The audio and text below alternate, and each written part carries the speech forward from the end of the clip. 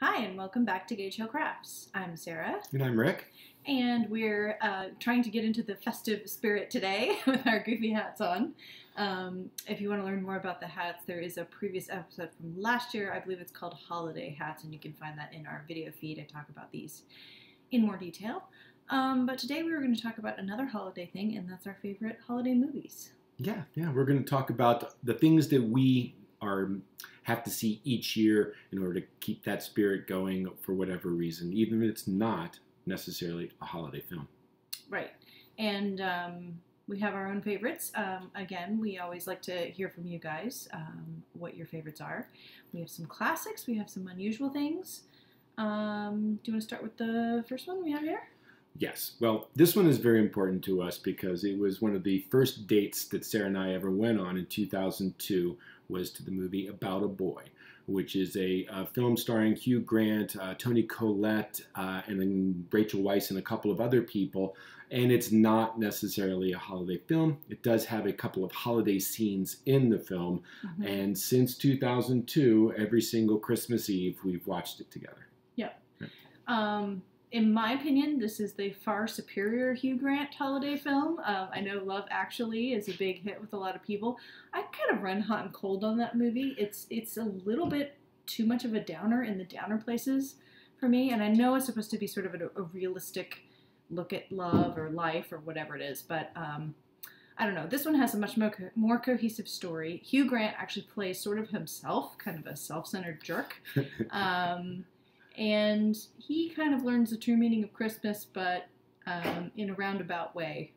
He Um, learns the true meaning of life Right. in a roundabout way, but you can kind of turn that into a holiday kind of thing as well. mhm, Yeah, like Rick said, there there are a couple of um, Christmassy scenes in it, but it's not necessarily a Christmas movie.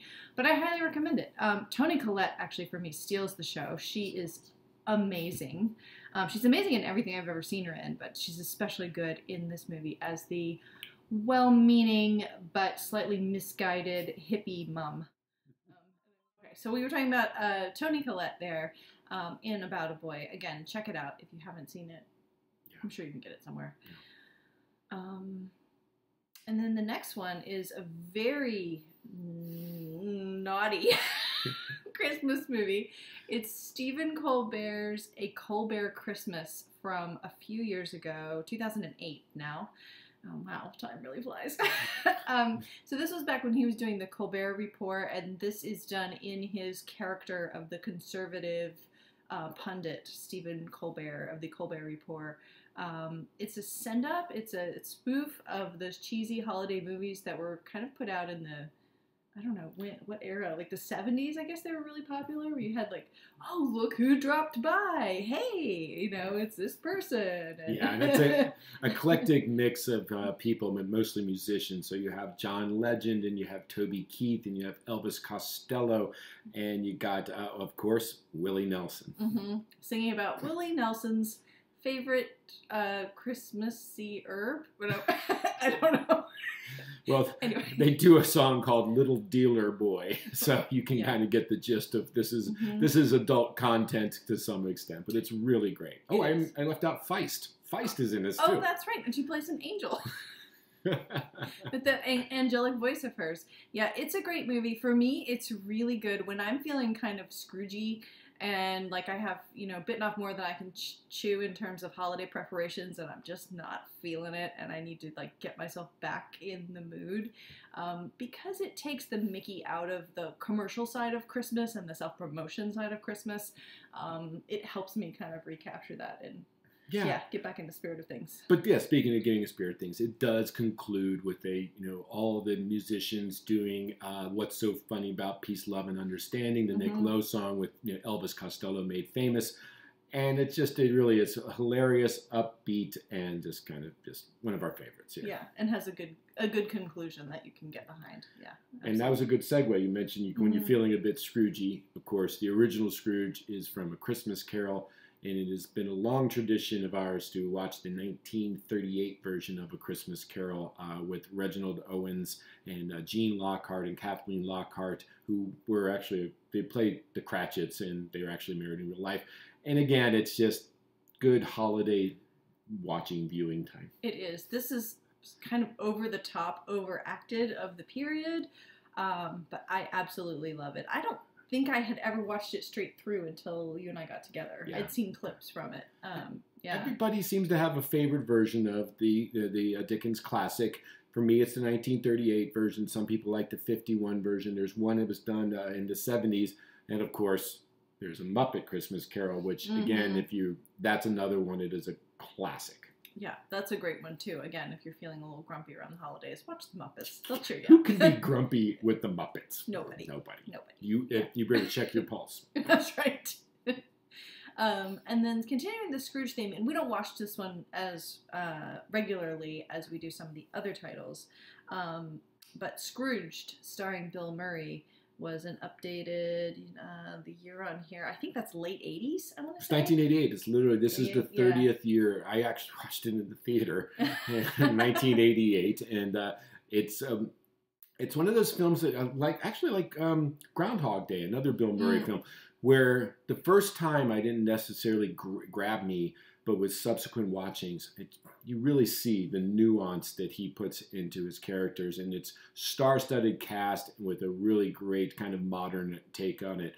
Carol Mhm. Kane is worth the price of admission as one of the angels. Oh, too. absolutely. She's she's incredible. Yeah, and it's Rick Moranis, right? Who's the like the fired? Is that right? There are so many. I mean, He's the sort of the Cratchit character who gets fired from his job at, on Christmas Eve or something. Uh, yeah. yeah, there are just so many little cameos from a Mhm. bunch of different people, uh, and it's kind of set in a, in a television studio where they're producing the big holiday classic, and he's one of the executives. And I won't spoil it, but definitely watch it. It's a great Bill Murray film. Yeah, and I've been a massive Bill Murray fan. Um, I don't know. I can't remember. Maybe it was Ghostbusters, which I know he actually did reluctantly. I recently found out about that, um, that he didn't want to be in that film. Anyway, what, whatever it was, I've been a huge fan of his ever since I was a kid. Yeah. So, yeah, this is a great one. So that'll get you Scrooged on. hmm And then we're back to another classic film, uh, Jimmy Stewart, It's a Wonderful Life. Another film that probably didn't do very well originally in the box office when it came out and has become a holiday classic. Probably once it entered the public domain type of situation, I think is what happened. Is that Mhm. it then it got picked up by the television show, the television uh, channels in the 70s, and then it became more of a holiday classic than it had been in its original.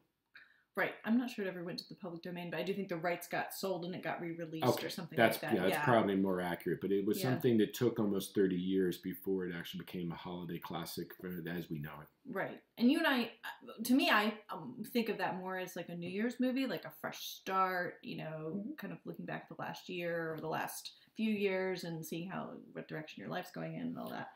Um, Well, that's also so we good. often watch it between Christmas and New Year's. Yeah. Well, also it's a long film. it's long. and I was saying is, you know, there are so many holiday classics and everybody has their favorites. If you tried to watch every film, you'd have to start before Thanksgiving, before Mhm. if, in order to even get through all of the ones that are even considered classics.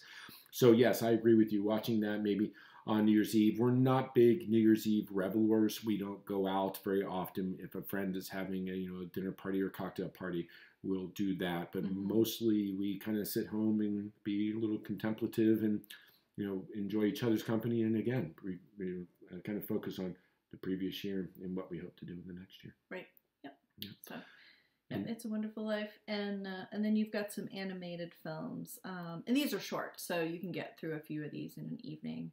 Mhm. Um, Although I was saying one of them on here is the Charlie Brown Christmas, which came out the year before I was born, and when I was little, it felt like it was as long as It's a Wonderful Life. And for some reason, Charlie Brown Christmas felt like it was a three-hour marathon, and now it's like it's 23 minutes. Mhm. Everything goes a little bit faster as you get older. yeah. Well, I was mistakenly thinking that it had been, you know, padded out to the gills with commercials and stretched out to an hour, but you're right. It's just it was a half hour special. I think because it goes back and forth in tone between like the kids, you know, they're putting on a Christmas play and that's kind of fun and you've got all the jazz music and then you've got these different scenes.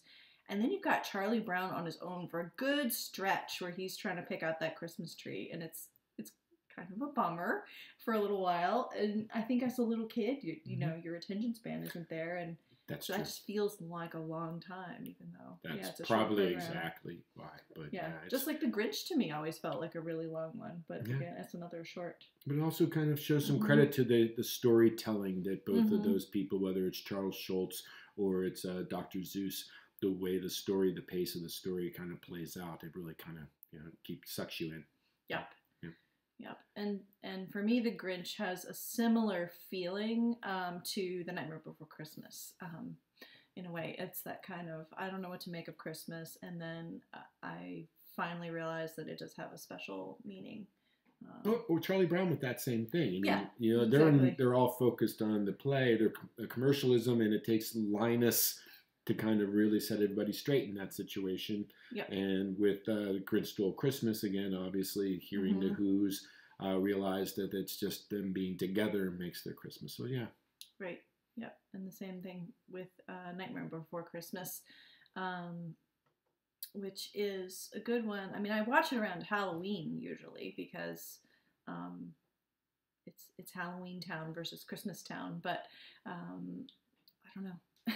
it is a good. It's a good start to the lead up to start thinking about Christmas, I guess. yeah, I kind of added this to the list. It isn't something that we watch. Uh, habitually or, or annually on purpose, but it is something that I know that Sarah has always been fond of, um, especially the music. Mhm. And uh, but it's it's another good Christmas one. Yeah, I saw that in the theater, and then I immediately ran out and got the soundtrack because I just thought the sound, the um, and I'm not even a big musical fan to be honest with you. There's not very many of the classical classic musicals that I really identify with, or that you know that kind of stir my heartstrings. But this one, for some reason, it's it's the misguided well-beingness of it all, but the, and then like the overlap between the creepy holiday and the one that's supposed to be the most festive. Um, there's something very compelling about it Yeah. for me. So, yeah, the music is Yeah. really good.